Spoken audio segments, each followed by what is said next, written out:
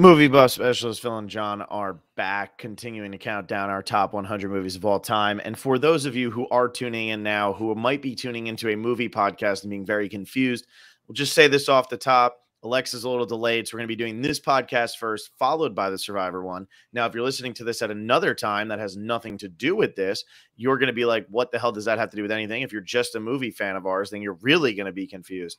The Survivor podcast is coming at like 10:05, so we're just we're just a little bit delayed. And I wanted to get this one out of the way so that I don't keep myself up all night. And hey, we're going to get the most viewers we've ever had in the history of this podcast, John, because we have the lead in of Survivor. But anyway, that's neither here nor there. We're on to our number 57s. We actually are talking about two movies that appear in our top 100 the first time in a couple weeks Mhm. because uh, John had a couple move, couple of my movies a little bit higher on his list. This week we got Cabin in the Woods from 2011 and we have Waves from 2019. And uh, we're definitely going to be starting with Waves because Cabin in the Woods at the time was all the rage, even though I think it's fallen off a little Mhm. bit. Um, but Waves 2019, relatively unseen A24 movie. Uh, I don't know like what the official box office on it is, but it's very, very, very hard to figure out or to, to talk to somebody and have them say, Yeah, I've seen Waves before. And John, you were not one of those people. I wasn't, and I remember leading up to its release in 2019, I had seen a couple of trailers for it, and I was really intrigued by it.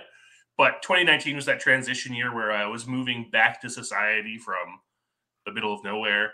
So it was one that just kind of like fell to the wayside, and I kind of forgot about it until Phil mentioned it on a top 100, and I was like, I should probably wait until we get to the point where we're discussing it to actually watch it, though.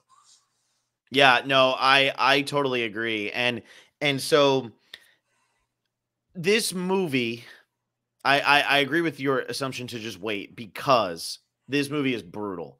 It's absolutely devastating and so incredibly hard to watch. So what I'm agreeing with is you waiting to watch it until now because I don't know if you would actually want to watch that twice in a short period of time. Saw this in 2019, uh, very much like you saw a trailer for it. I'm gonna be honest, I wasn't totally sold. It seemed like a really artsy movie, um, a little over the top. We were also in this time, and and we see it with the best intention sometimes, and other times we see it as people trying to make money or get you know society points. Mhm. But it seemed like okay, what kind of movie are we about to get here? It's about a black family. The trailer really isn't telling anything about what's gonna happen in this movie. And so I was like, okay, like if that gets nominated for Oscars, I'll go see it.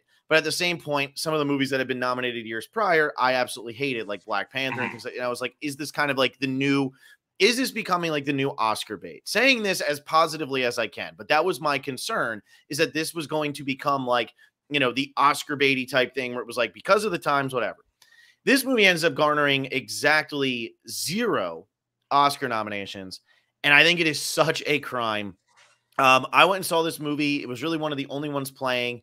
And I remember sitting there and I'm watching the movie, and like the opening just caught me right away. The music, Mhm. the fast pace, the quick camera movements. Kelvin Harrison Jr. is phenomenal.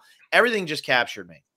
And as soon as we got that one thing go wrong, I was like, ah, shit. Like, that's why it's called waves because it's just the ripple effect of every little thing and what it's going to do. The greatest decision that Trey Edward Shults could have made is that at the halfway point of this movie, he does decide to completely shift and go a different direction because I could not watch another hour like the first hour of this movie, even though I will say that I think the first hour of this movie is one of the best downfalls ever put on film. It is devastating, it is brutal. And what Shults does, what Harrison does, and what Sterling K. Brown does in an absolutely incredible performance that got almost zero credit, your guess is as good as mine, is they make you feel they make you realize that this is actually a good kid who is having something go on with him that he doesn't understand. and He doesn't know how to deal with it. He's too immature. And what happens when that keeps spiraling out of control? And there's nobody there to stop the spiral. And this movie goes there. I always say that with movies like the, the classics, The Graduate, things like everybody thinks about, every guy and hell, every woman is thinking about when they get out of school, who's the hot person, the hot you know, parent who we Yeah. always thought was hot growing up, and now all of a sudden we're drinking together and all of that. But the graduate goes there. A lot of movies don't go there. The graduate goes there. Waves is one of those movies that says, okay, we're not going to stop when one thing starts to go wrong. We're just going to keep going because a lot of times this is what happens. And and to me, this movie feels almost like a little bit of a um like like a, a statement towards media. We never get anything about the media in this movie, but Mhm. we see somebody completely fall apart. And how would this have been covered in American media? And I know John, you're in Canada, but I'm sure you laugh at American media all the time. If this was covered by American media, how would this be covered? Do you know what I mean? And instead of Mhm. giving that that BS Gone Girl type stuff, it just says this is who the person is. This is what happened, and now this is his family trying to deal with it. All the innocent people who wish they could have done something to stop it. It's just a brutal movie. And I will say, after the first time I watched it, I said, Well, never watching that again, but it's one of the best movies I've ever seen. John made me sit down and watch it because of this podcast. And I gotta say, like, I I thought that I had overrated the crap out of this just because of how hard it made me feel. Mhm. I I still think I underrated it. Like I really do. Like I am saying confidently that out of the 40, I guess we're on episode 44, out of the 44 movies we have talked about on this podcast, this is without a doubt my favorite one out of all 44. It's not even close. Like it, like it really isn't close. This one just catapults. Um, but anyway, John, I just went on a four minute tangent, but I had to get I've been been waiting to get that off my chest since I sat down and watched this movie in 2019 and tried to convince people to sit down and Mhm. watch the damn thing. Yeah, I mean, it is a very powerful movie, and just the feeling that Shults cap- captures in the movie of like that idea of like the building tension throughout the first hour of this movie, you just are waiting for the shoe to drop. Mhm. Like you know it's coming, and you're just waiting as everything builds momentum like a wave moving in Mhm. towards the shore. And then it finally hits, and then it fall like starts receding back, and you get the back half. And it's just such a beautiful film because of that. I mean, I was in right from the very beginning. I mean, you start a movie with some Animal Collective. I'm right. I, Yeah. I'm all for it. And then when you end it with Radiohead afterwards, like, oof, I well, and that's the thing. Like, I think the music choices in this movie were incredible because Mhm. he's doing this kind of indie, like, what the hell is this kind of music? And I know that, like, I don't know. I know Trey Edward Shults is a white guy who directed and wrote this Mhm. movie. So I know that there were, uh, trust me, some of the criticisms at the time were so ridiculous. Oh, this is what Yeah. a white person would. It was like, what? What are we talking? Like, does that take away from how you viewed this movie? Like, I always hate, like, just how did you feel when you watched the movie? How did you feel? And I know that some of the complaints were like he's putting in this music and blah blah. blah. But I love that he's got he's got Animal Collective, he's got Radiohead, and then he's got Frank Orange, he's got um um Kendrick Lamar. Like he's going around the entire spectrum of music because let's be honest, at the end of the day, everybody has different moods that they go through. And Jordan actually said he's half white and half black. I did not know that. But every well, that even goes further with these critics, Jordan. Somebody Yeah. help me because critics are just becoming the most idiotic people. But when when I sit down and and and you see this, it's it's all of these different perspectives of who you are. I always think about this scene Mhm. where he's sitting there after they've broken up and he's listening to the really sad R and B song. Like we all had, like that's his breakup song. Animal Collective's Floridada is his upbeat song. We get later when um when his sister and Lucas Hedges they're out there and we got Bluish playing, which is also Animal Collective. Like it's these different versions of yourself, and I think that's also what this movie is trying to depict is these different versions of these people. Sterling K. Brown, the different versions of him, the different mm-hmm. versions of Car- uh, Kelvin Harrison, the different versions of the mother, the different versions of this family because the mother isn't actually their mother, and like what happened with them? Oh, she died of a heroin over, like all these things. The sister, who's kind of an outsider, and then becomes something else. I think it's just it's capturing all of that in one of like in such a simple story. This is a this is a you know a Greek tragedy followed by an actual like can we forgive and what can we forgive? It's the age old mm-hmm. question in human history, and this movie goes there with it. And one of my favorite lines from the movie is he's not a monster. He's not a mm-hmm. bad person. He's a human being. And the way Sterling K. Brown delivers that line in that scene where he's talking to his daughter, and it's really the first time we see them interact in the entire movie. I mean, what I don't know. I mean, maybe people just don't know how to watch movies. I don't know where I don't know where the Oscar nom was. I have no idea. But it's it's just it's devastating. It's so it's so heartbreaking and it's so true.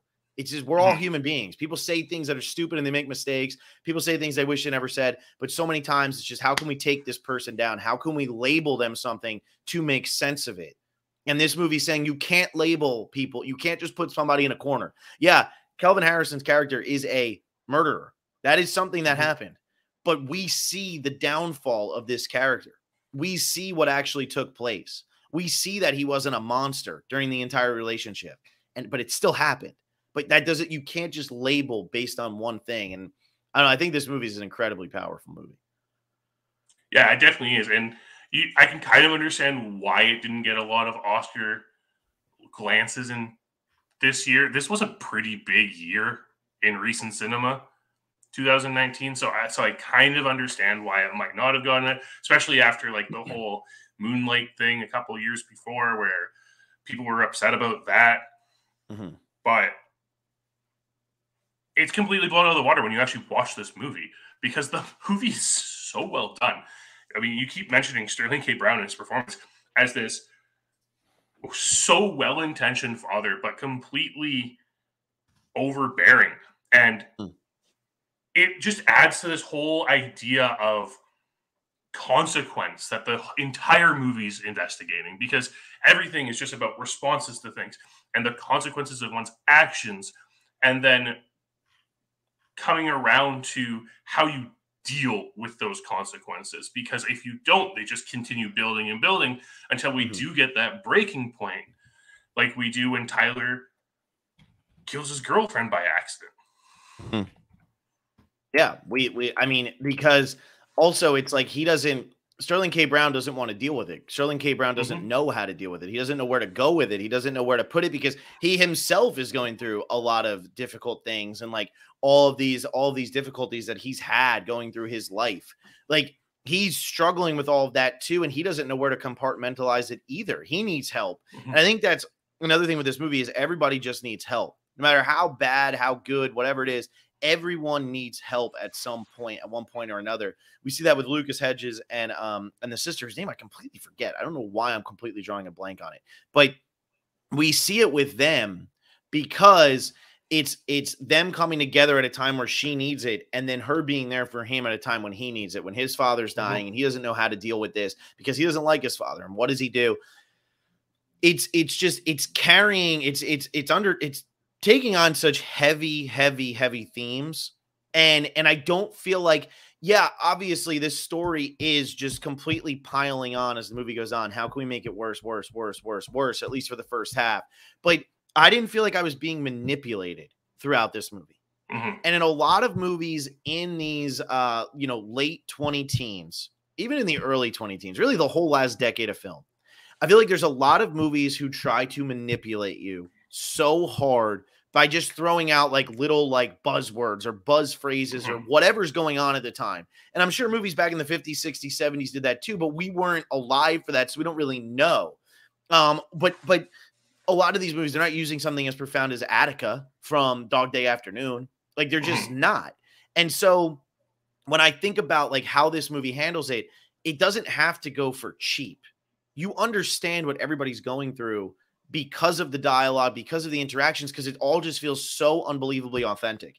If you were a, a, a high school wrestler who felt like they had it all, and your shoulder is so messed up that you're going to lose your season, that feels like the end of the world when you're in high school. It just mm-hmm. does. Uh-huh. And then when you when your shoulder's so done and you think, "Hey, I'm going to be I'm going to lose out on this. I might never wrestle again." And then you start taking painkillers just so you can keep going. This is something that would happen. Like this is real. And I think that's what I love so much about this movie. There's no manipulation. It just happens because it just happens. Yeah, everything that happens seems like a logical response to a situation. It's not it's not like anything's blown out of proportion or anything like that.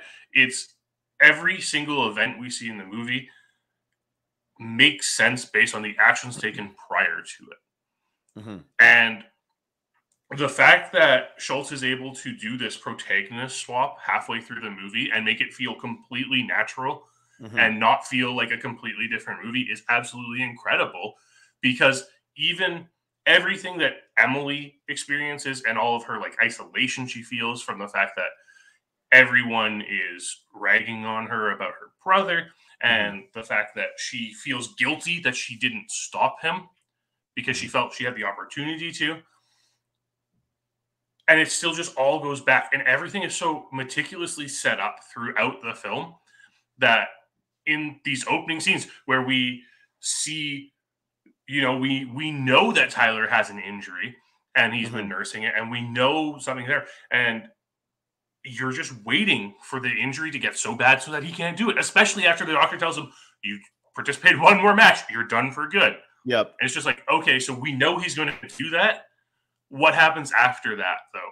And I, I didn't go into the movie knowing a lot of what the plot was.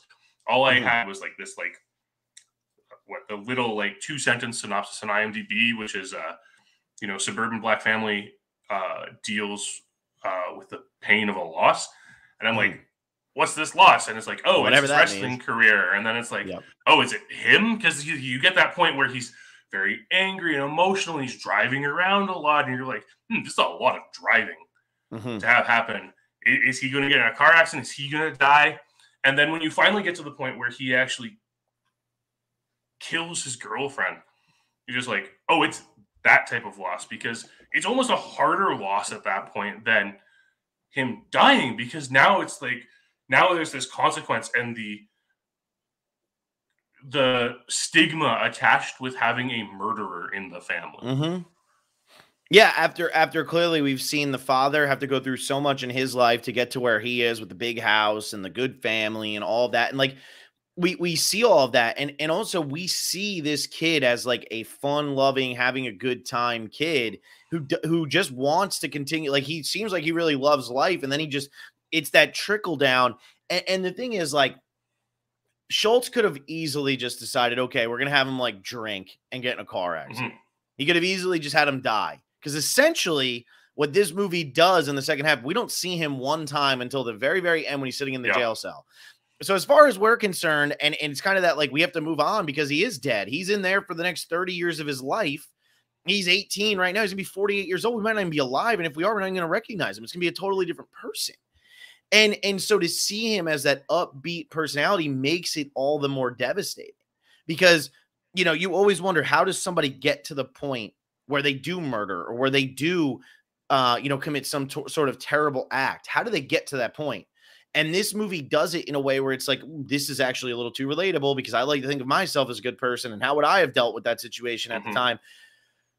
And and and being a teenager being in high school that's where these things really can snowball out of control that's when people are at their most vulnerable for the most part with suicide or with, with there's so many different things to pull you out alcohol, mm-hmm. drugs, you know, we see him, you know, all of a sudden he's he, she's pregnant and now he's gonna have to have a kid. Like all of these different things that are happening. This is what you know, this is why it's such an important setting to make it him. And then you have the quieter sister who never did anything wrong her entire life. All she did was be there for him in the bathroom floor, which is all the more devastating of a scene mm-hmm. once we actually get to the end and know just how impactful that was and that that's one of the last memories she has of him um, it's it's just crazy. It's hard. It's a hard watch. It's just a very very hard watch. It is, and like you say, I think a lot of that hard watch comes from how relatable it is because I think all of us who are past that age and are at the point where we really look back at ourselves back then and we realize we were not as great as we thought we were. Mm-hmm.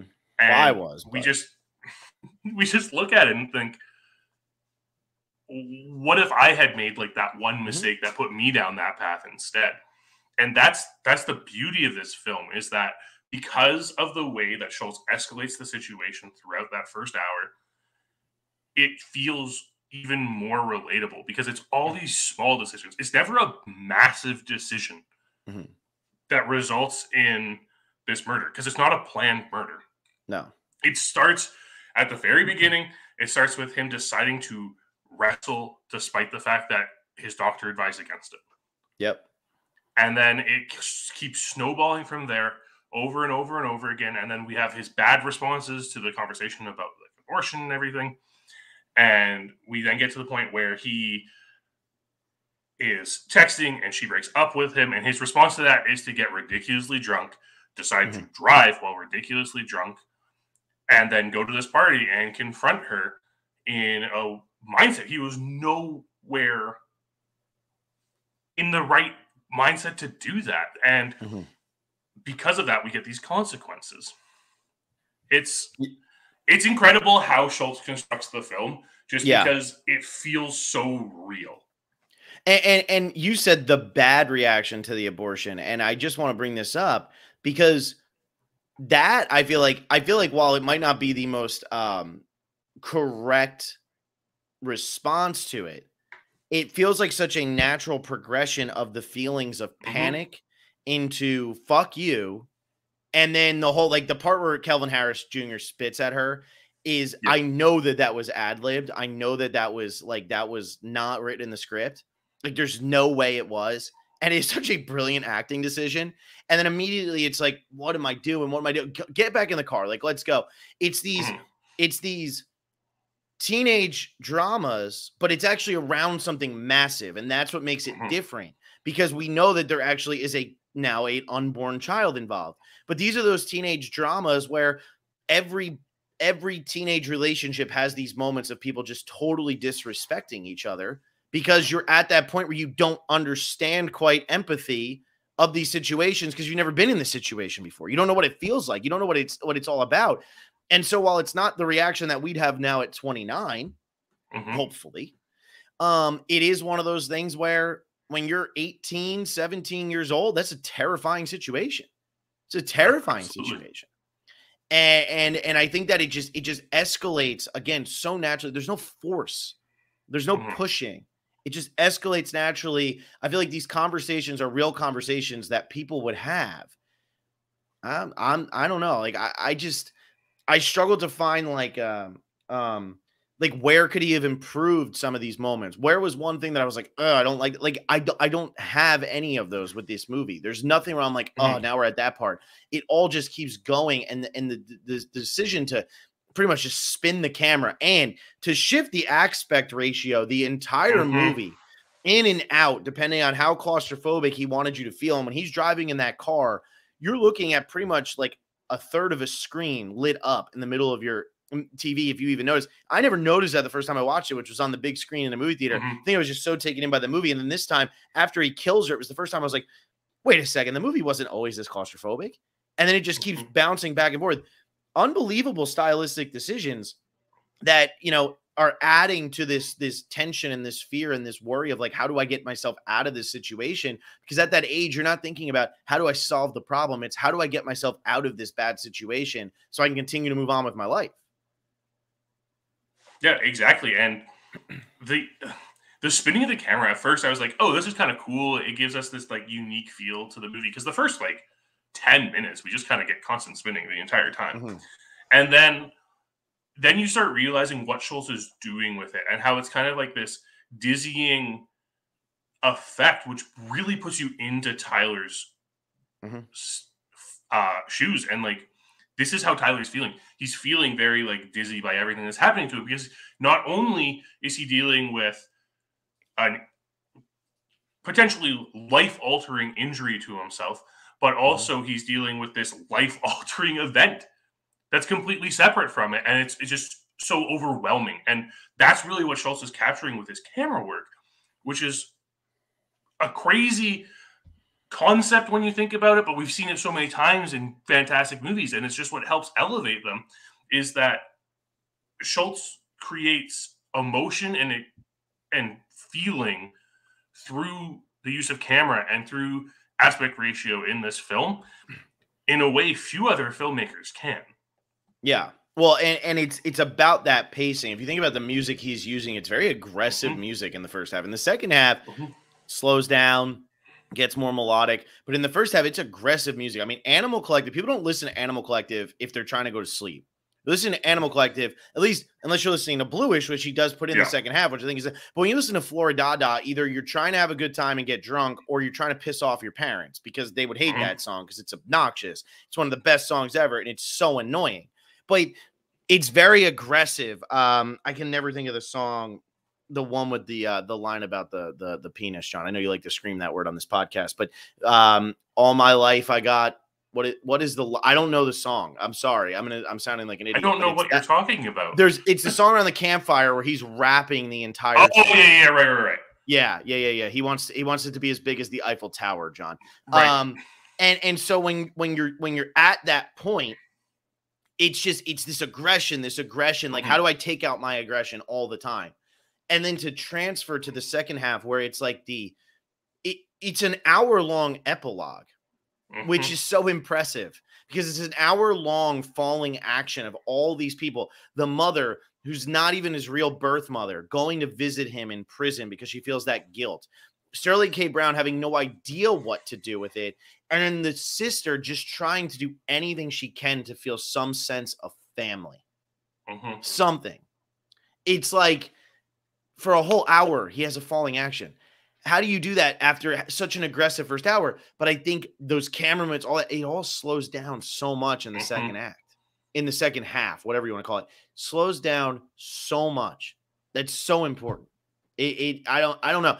I don't know how many directors could really pull off such a drastic change. We saw um, Derek Cianfrance try it. Derek Cianfrance has a movie in my top 25, 26 with Blue Valentine. He tried it with um with The Place Beyond the Pines. And personally, I Mhm. think he fell on his face. I think the movie's good, but I think it tries too hard and I don't think it gets there. This movie, though, built as soon as I saw The Place Beyond the Pines, I said that's not a very good movie, but that is a movie that is going to change the game for indie films. Mhm. Waves is the perfect version of The Place Beyond the Pines. And and uh that's yeah, that's just a confident director. His this was his third movie. He's 31 years old directing this movie. 31 Yep. years old. Think about that. There's not many great directors who are directing their third movie and making one this good at the age of 31 years old. No, it's it's really impressive, and it comes down to a lot of the things. His attention to detail in this movie is fascinating. I love just like seeing all the typos in the text messages I love it. I love it. because it, it, it's such a minor detail that people probably won't notice. But when you're paying really close attention and you notice that, where even there's one where uh, Emily has the text and it has two correction text messages from her father Mhm. correcting a spelling error. And that's the type of realism we don't get in films enough. Yeah. With texting, because especially that, like it made me feel good that he hits the O every time he wants to hit the I too, because I do that every single Mhm. time. My finger keeps slipping, and every time I want to hit the L or the M or the N, I hit backspace, and then it goes back, and then I have to restart pretty much. And you know, it's it's just, yeah, it's those are the types of things. Like, how do you keep technology? How do you make a movie about Jesus Christ? How do you make a movie about um teenagers nowadays where so much of the communication they're doing is through text which isn't a visual you know film medium it doesn't work well there and yet make it work this is the way you do it with the music and you're you're over his shoulder you're watching you're Mhm. him doing it and you see everything he's saying wrong and everything he's doing wrong and everything she's doing that's wrong there's so many things being done wrong on both sides here and you're just you can feel that frustration building up what would you do if you're in that situation and you just found this out and now you have no control to talk about it or anything it's not easy No, not at all. But Shults manages to do it in a way that is feels so natural when you think about it. It feels like the natural way of showing these things, but people still struggle doing it.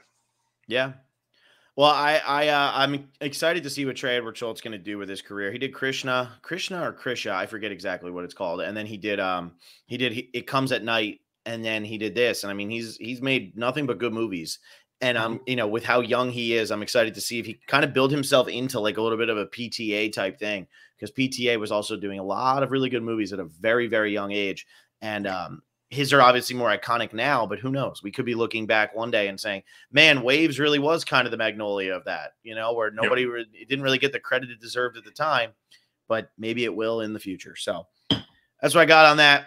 Um waves go check it out if you want to be depressed um because that's that's what it is. It's Especially if you're not from the states, because hearing a judge sentence a 18 year old to life in prison for the rest of their natural life in prison with no parole until 30 years is absurd for anyone doesn't who is happen in not Canada? familiar. No, no, our maximum sentence for a murder is 25 years for first degree murder. Second degree For murder, first degree murder first degree murder is a 25 year sentence. that's insane And for a second degree murder like this, still tried as an adult at the age of 18, you're looking at 10 to 25 years with parole being after 10. interesting interesting It puts a whole different perspective on the film, I feel. yeah i mean as somebody who lives in the states i was like yeah of course you got life in prison Mhm. they do the whole eye for an eye life for a life thing down here so You know, go listen to the Mercy Seat by Nick Cave and the Bad Seeds. That's it. Yeah. Eye for an eye and a tooth for a tooth. Okay. Well, that's interesting, John. Thanks for that. That also made me a lot more depressed. Thanks. Thanks for Sorry. that. Also, the shot of and, and this is the last thing, the shot of him eating two hot dogs with no buns, beans, and corn. Kill me. it was brutal. oh my god, it just killed. It's like, why'd you have to set it up like that? Why'd you have to set it up like that? What's that? Why'd you have to tell me in the pool? Yeah, Shailene Woodley and the Descendants. Why'd you have to tell me in the pool? Like, why'd you have to do that to me, Trey? Why? All right, we're moving on. John, what was the best movie you watched this week so I can start talking about something that makes me a little bit happier? Well, I was getting a little worried until yesterday because I was going to have to say Inherent Vice, and I knew Phil would get on my back for it. I would. Um, I also saw you only gave it three stars though, so that's okay. I would. I'd Yeah. probably give that like two and a half. So yeah, uh, I think fine PTA film. It felt really weird watching it after the Long Goodbye because you can really see the comparisons between those two same- movies. same It's movie. the same Long movie. Goodbye's better. Yeah. Um, other than that, I watched uh, I watched the new Resident Evil movie, and like the Resident Evil movies, kind of have like this soft spot in me. I really love the Resident Evil games, and this one surprised me quite a bit. It felt they leaned more into like the horror genre than the action genre for the first half, and it felt more like a like a zombie outbreak movie in the beginning. Uh, really impressed with it, but hands down, best movie I watched this week was The Power of the Dog. Mm. Uh, new western uh, starring Benedict Cumberbatch, which I will admit I was quite apprehensive of seeing Benedict Cumberbatch playing someone in a western, but Jesse Plemons and Kirsten Dunst were in it, so I was like, oh, I'm going to give this Hmm. a shot, and it far exceeded my expectations. It, it, I would say, it is the best movie I have seen that was released this year so far. Nice. All right. Well, that's good. I haven't seen it yet. I plan on seeing it. Um, definitely want to check that one out. Um, Kirsten Dunst and Jesse Plemons were great in Fargo season two. So, Oh, so good. bring it, bring it back, baby. Yeah, no, Fargo season two is one of the funniest things I've ever seen. I, I only got a little bit into season three, but season two is just like a masterpiece.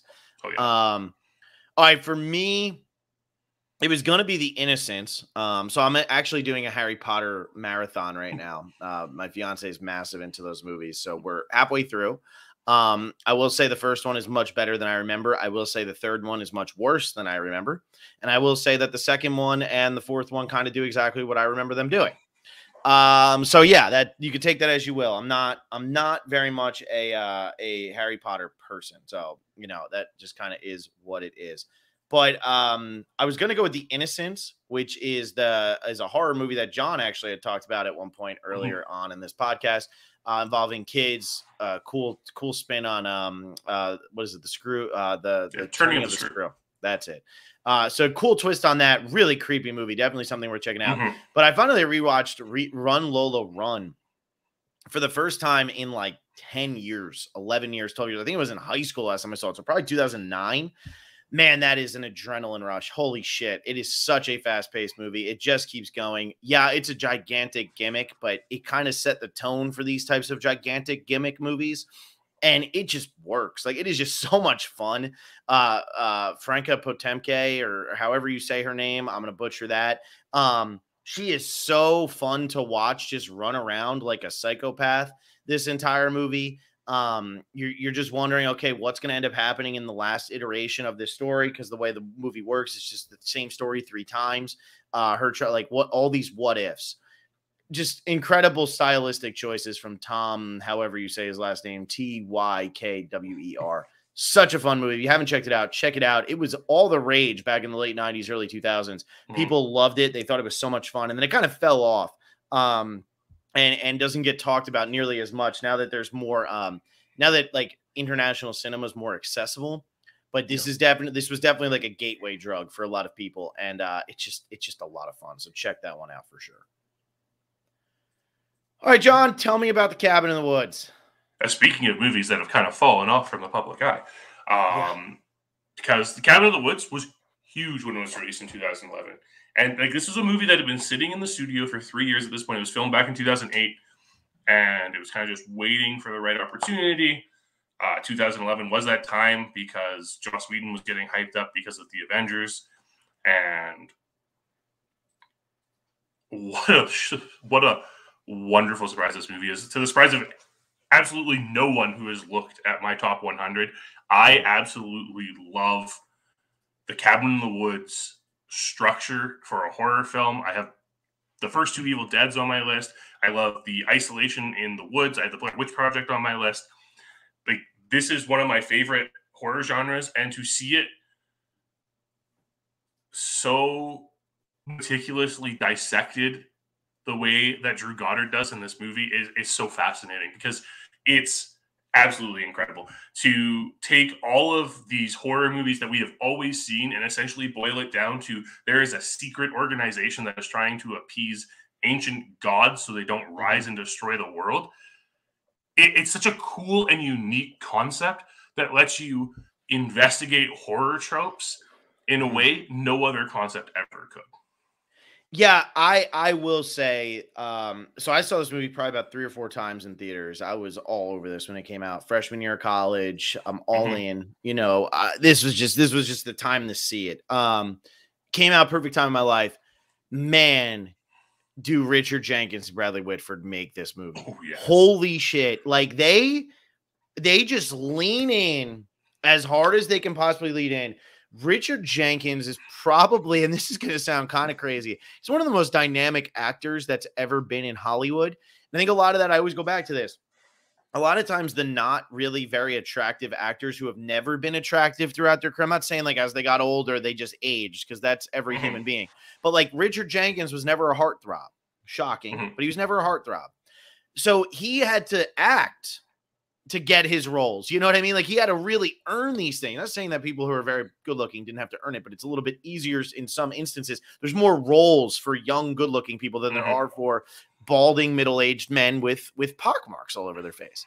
And so him leaning into this and going all in on like taking the bets and doing it and like they're watching and there's that one part where she's about to get killed on the bridge or whatever and he just looks over he's like hey what are you doing like he is having so much hmm. fun with this movie bradley whitford is a perfect person for him to bounce off of the two of them are just enjoying themselves and it's so much fun to watch these two old actors enjoy themselves on film in this movie where there's so much bad because a lot of times a movie like Cabin in the Woods would struggle with how do we connect it all? How do we make mm-hmm. everybody aware that it's a game and that it's something? And this movie does it great where it's like this is a corporation. They work these bullshit jobs that they don't feel like doing.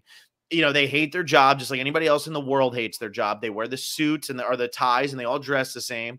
And they go around doing office pools on stuff. Just so happens that their job is to make sure these teenage people get murdered.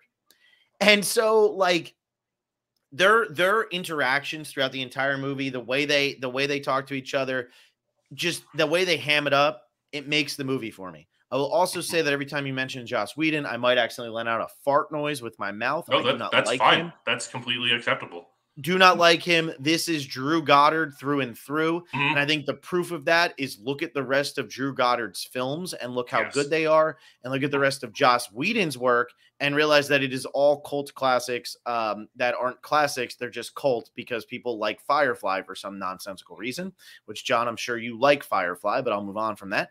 Um, and and Drew Goddard, I mean, his fingers just in this. I mean, he was all yeah. the rage too because he was coming off of Cloverfield. So that Cloverfield, yeah. Yeah, he and I mean Drew Goddard is phenomenal and does not direct enough because when he does, we do get these phenomenal films like this. And going back to Richard Jenkins and Bradley Whitford, the beauty of it is that these two people working this job feel like a normal, everyday heart, pair of partners working a job. Mm-hmm. It's never like they're they're middle management. They mm-hmm. they have to run these things, but they still have to answer to the director and everything.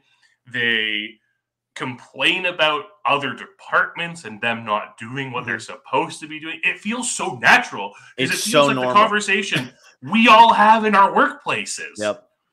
And despite how absurd everything is that they're doing, it still feels normal. And mm-hmm. that is something that if that wasn't done correctly, completely ruins this entire movie. Yeah, absolutely. And, and and who would think that they would go that route with it to make it the mm-hmm. office pool so corporate? I mean, I was doing this literally today. Like this happened at yeah. my job today because I instigated it. But like you know, that whole thing of like complaining about the other, well, we always do our job. Once again, Chem not doing what they need to. Like, what? What? But that's that's just how it is. Like, except what they're doing is literally going to save the world because otherwise and, and to dis, and to describe movies like why do these teenage kids keep falling into the same trap? Well because that's what the gods want. And who are the gods? The gods are the audience. The god is the audience mm-hmm. who just wants young hot people running around doing whatever the part where they're watching her get undressed. Like that's what the audience wants. They want young mm-hmm. hot people who stumble into something get killed off one by one in slasher style and this movie just leans. How do they determine who it's going to be? Well, we pull. It's just random. Whatever object they pick up, that's what it's going to be. This movie. I mean, it's it's so fun. Kristen Connolly's very good in this. Uh, mm-hmm. Uh, Chris Hemsworth's great. Uh, Fran Kranz is he steals the show, obviously, yes. as the stoner. I mean, he's he's just so good. The fool, as they call him in mm-hmm. this.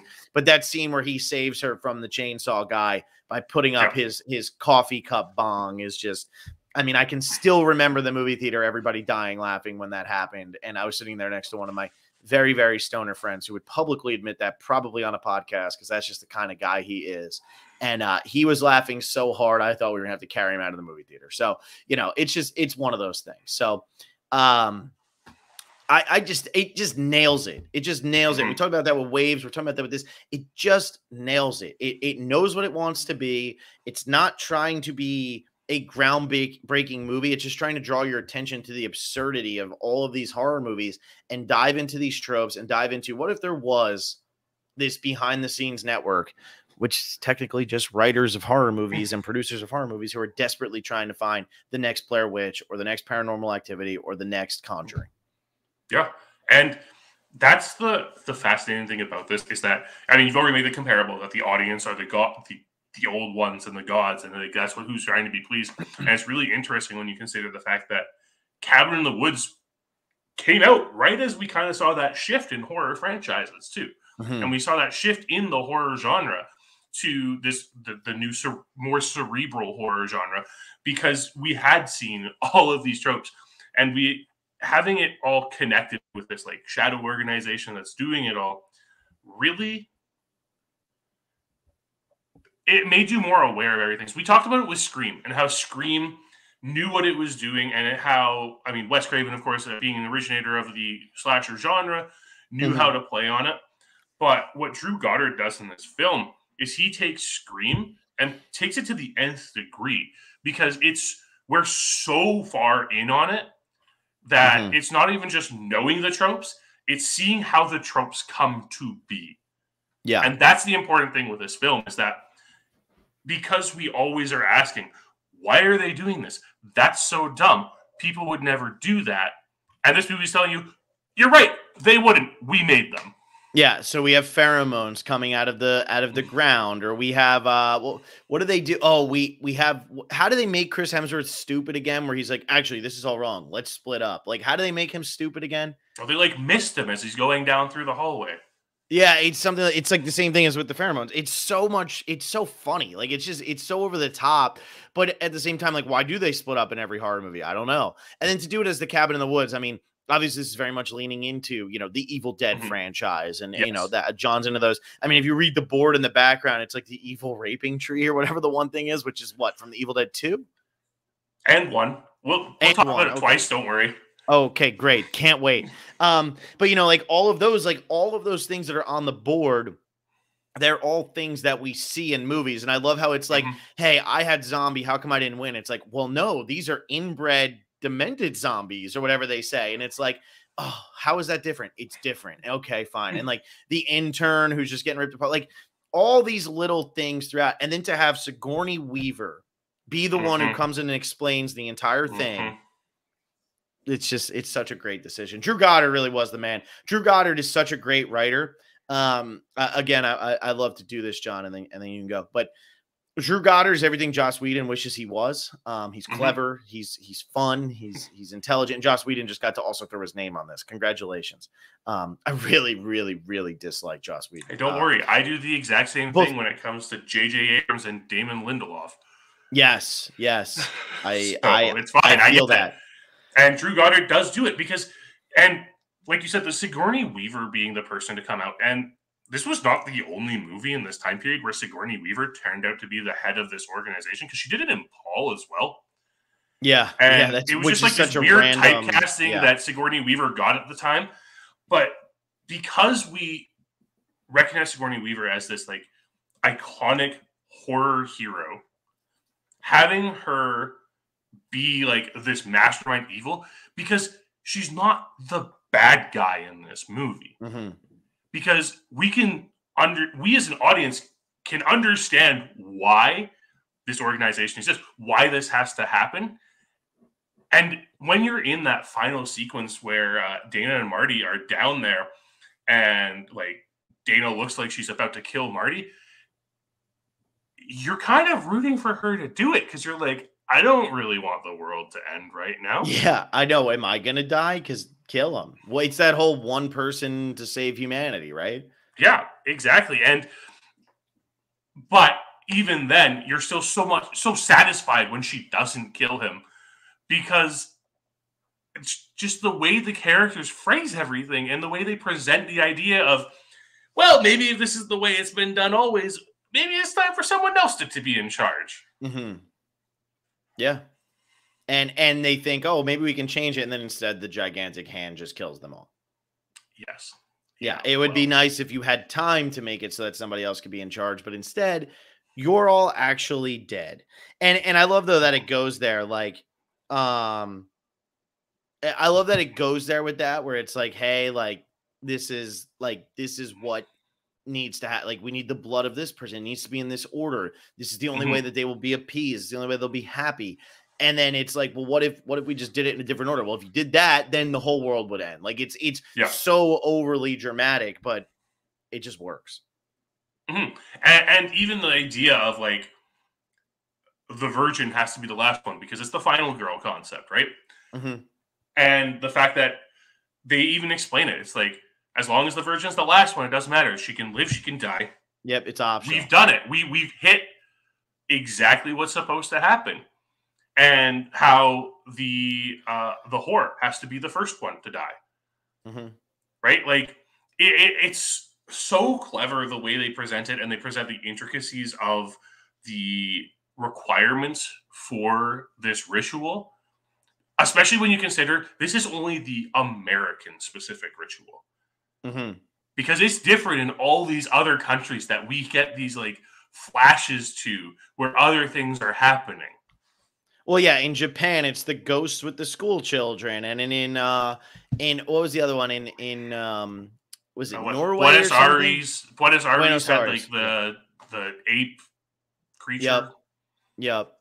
Yeah, I mean it's it's fun that it's like, and all we need is one of them to succeed. We don't need all of them, Mhm. but you know, Japan has hundred percent, and like that scene where they're all singing around it, and then she ends up getting turned into, oh, we killed her with love. Like that it does tend to be a lot what happens in those movies. Mhm. So that just that one just made me really, really, uh, really, really laugh.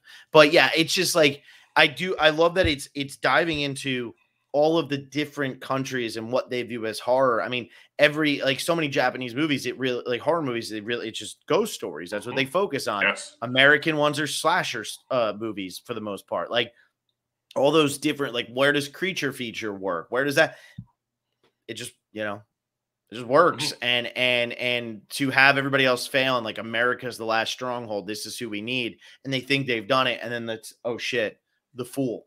He's still Mhm. alive. What do you mean he's still alive? Like, how do we kill him? We can't. You know, then- especially then- because they say they say oh no one of them's still alive and they don't tell you who it is and he's really not the person you're expecting to show up there at the end Yeah, you're thinking it's going to be the well, you know, it can't be. Well, th- see, that's the problem though. It can't be Chris Hemsworth Mhm. because he gets destroyed. The boyfriend or whoever it's supposed to be, he gets stabbed through the neck like 800 times. Yeah And it could be the whore. She gets her throat slit, but I don't know. It kind of has to be the fool. The fool's always. It always seems like the fool and and the virgin are the last two left. Mhm. Anyway, so it's also Yeah. leaning into that trope of like the shock. Oh, he's still alive, and here we go. It- it- it's also really important that marty's character kind of realizes the weirdness of everything going on and i think because he kind of acts as this audience surrogate to the entire situation where we can't personally be in the film but through marty we kind of get to have this idea of why are you thinking that? And Mhm. even just him commenting, uh, like, when is Crims Hemsworth's character been like the big man on campus type? He's a sociology major on an academic scholarship. Yeah, This yep. isn't him at all. And again, like Drew Goddard prefaces this earlier on when he's literally giving a book to Dana, being like, Professor hasn't read this, doesn't lecture about this one. He'll think you're a genius. Yeah, yeah, yeah, And, like, yeah. I we, know. we he's set up as this academic, and then he still kind of falls into this stereotypical horror trope of the jock. Which they need to do, and how do they do that? Well, okay, like like oh, we'll get the THC, we'll make the THC stronger, so that's why the stoner, or the fool, becomes even more foolish, and nobody believes him, and all that. And then with him, they have that, and what is he called? They call it like the celebitard at one point, which I Mhm. hadn't heard that phrase since I think 2011. But like, why is she acting like this? They're just they, like it's all these people pushing them to act in these trope ways, which is just such a fun way to to handle that. Of like, they're not necessarily that way. Now, the fool was always the fool, but they're not necessarily that way until we make them that way. And because it's Chris Hemsworth who ends up going on to be Thor, you're gonna believe that yeah he would turn into this crazy jock person. They do at least have him throw a football at one point where it's like think Mhm. fast and the guy catches it outside. So at least we have that early on to set up that he can throw a football. Yes. But when we're looking at it, it's even like how the entire situation's manufactured in a way. This this isn't a group of people who happen to be getting uh, waiting for a group of teenagers to just appear at this cabin at this exact moment. It, the entire situation's engineered from the fact that they had been prepping them all so that they ended up going to the fact that Chris Hemsworth's random cousin tells him, "Hey, I got this great property you should check out." Yeah, yeah. He doesn't even have at the end of the movie. I love when he goes. He doesn't even have a cousin. Yeah, it, it's it's so great because it just shows how meticulous everything was putting up to it. And then we have like the Harbinger, who's this over the top, you know, that creepy character who always gives them the directions to where they're going and is always in on it. And you're just like, he's so over the top. And Yeah. the speakerphone scene so shouldn't good. be as funny as it is, but So it's funny. so funny. It's so funny. I love the speaker. Wait, am I still on speaker? And they just start laughing. But again, that goes into Richard Jenkins and Bradley Whitford just Mhm. having so much fun with it and Yeah. just being like willing to just make fools of themselves and lean in so hard. I love it. I think I like they're they're so funny. A lot of just really good decisions in the movie, like that fake wall where we see the bird fly into it at first, and then we know that when Chris Hemsworth's going to jump, he's going to crash into it, or you've forgotten by that point. I love when they get in the elevator and they go down, and it's like, well, it can't be worse than anything else. And now they're in these boxes when all the other creatures are kind of coming around them. That's such an interesting idea. Like, Mhm. then you're like, well, are they even gonna let them out of there? Or this gonna be like, fine, they're in there, but no, they have to still kill the people, and it has to be in the right order. So they can't just like keep them in there to starve because then the virgin Yeah. could die before the fool. So you still need it to happen. Let's get them down here so we can figure it out. Like, it's such a creepy moment, and almost like, hey, yeah, like we just have these prepackaged nonsense villains that are gonna come around and do stuff, and it leads to just some like that girl with the weird face thing, and Mhm. it's all just you know it's all creepy it just it it goes from like very funny to very creepy and still Yeah. keeps its funny but it, it just becomes so much creepier as it goes on and like if that was a horror movie when they go into that elevator you'd be like holy crap this is scary Yeah. But it's also such a fantastic that sequence of the boxes and everything is so fun for people who are not fans of the horror genre because they can kind of look at the items in the basement and kind of like piece together which one Mhm. relates to which item that they were seeing and everything. I mean, you get like what Fornicus, the Lord of Pain, with his uh his puzzle box Mhm. and like that's that that's that trigger moment where it's like oh we've actually seen that one but being able to like look at all of those as a horror fan and just like pick out every single horror reference yeah. in that wall. And like there are some like pretty crazy ones. There was um the left Left 4 Dead zombies were in there which people might not even remember that game existed anymore at this Mhm. point isn't But it was the supposed used to have a- play in the movie theaters? Uh it was like the no. first person shooter right? No that was that was house of the dead. Left for house dead of the was dead. Left 4 Dead was a four player co op game, and it was supposed to have like a crossover with um with Cabin in the Woods, but the studio Mm-hmm. went bankrupt, so it never came to fruition. But you kind of still see those zombies in there, and like those are those kind of neat Easter eggs that you can look for in this movie and see them and just understand what this movie's trying to do. Mm-hmm. Mm-hmm. Yeah, and and I like that they never let off. You know, like the whole time. I, I, meta movies don't work that often. A lot of times, a meta movie is too meta. It thinks it's too clever. This movie can't stop winking at you, and yet you're like, all right, keep winking at me, keep winking at me. Like you feel like you're so in on the joke, but you never feel like you're being talked down to or something like it just it feels like they just can't stop winking so you just got to keep Mhm. going along with it just keep letting them wink keep letting them wink and and you're you're in on it you're having a lot of fun with it rather than just waiting for the next thing to to take place or you know whatever it's it's very much um normally a meta movie it's like okay now you're just being like self-centered uh, the- like now it's Yeah. egotistical now you're pandering horror movies are so on the nose all the time Mhm. like this is to me the better version of scream like this is that Right. this is scream done even better because it's really re- like scream Mhm. doesn't lean into it hard enough in my Yeah. estimation this one just says it's not going to just be somebody sitting at home watching a movie going hey no there's somebody behind you when there's somebody behind him it's going to be like hey you've seen this literally five million times here it comes again Mhm. So, Yeah, know, and- it's winking And this movie doesn't. This movie isn't just this pure comedy meta version of it either. It does still have these horror elements where it, it has some terrifying buildup. And that's what I think it really does well. It has like the creepy photo into the like one way mirror. Mhm. And like that photo's terrifying. oh it's terrifying And like even in that photo, you kind of get all these like references to different horror movies and stuff. And then, but what's even better is there's this building tension in some of these scenes. It's the lake scene where they're in the lake, and Chris Hemsworth's like, "Oh, what's that in the lake?" You're like, "Oh man, there's something in the lake. Like something bad's gonna happen."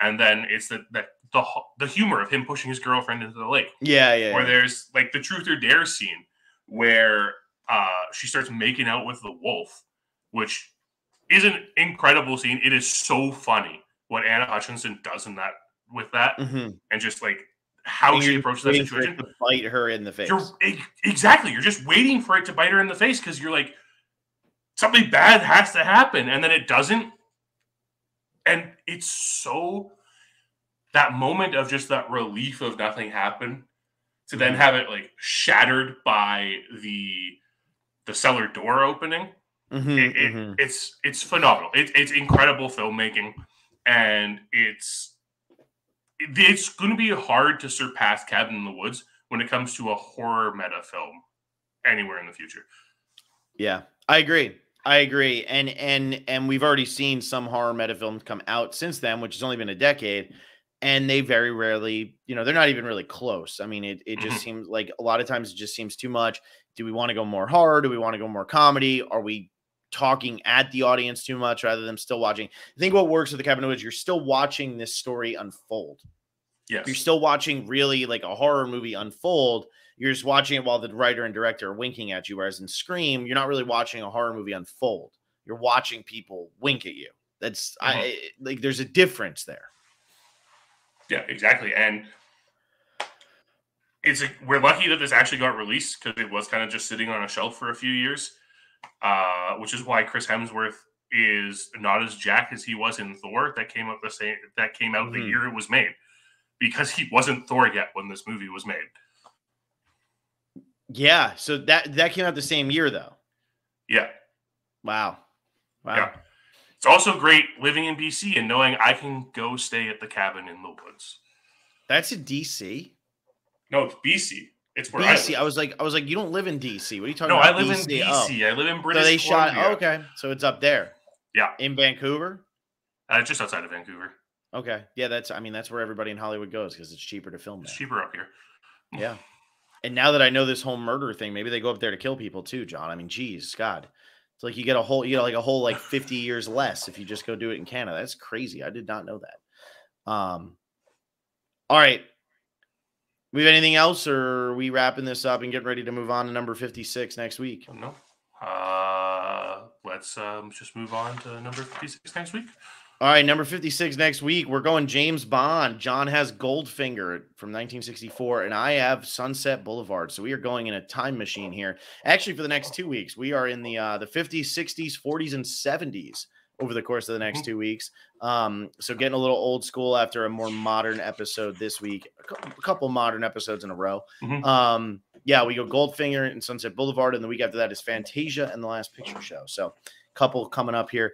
That should be pretty fun. I got to go podcast about Survivor, so that's also going to be fun. The next to last episode, probably back uh, Tuesday or Thursday or something like that of next week. We haven't quite figured out the exact date, but it won't be Wednesday because it's the Survivor finale. But we'll figure it out at some point. So keep tuned for that. Look forward to doing it, John. Always a pleasure. Get some 2020 20, 2021 movies in so that we can Yes. talk about so we can do our end of the year fun um, coming up not too long from now. Absolutely. All right. See you later, everybody.